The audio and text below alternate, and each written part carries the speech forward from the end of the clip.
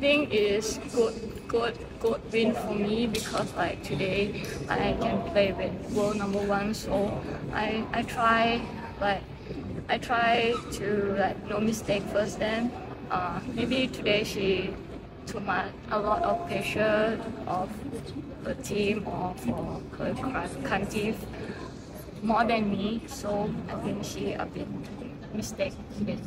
I think she like right like in rally long rally then uh, she can speed so I have to like be careful every, every single shot of her game.